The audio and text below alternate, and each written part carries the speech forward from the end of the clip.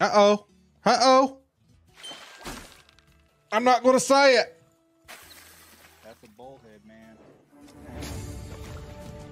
51.6 degrees. All right, Doan. You win. Fine. Doan.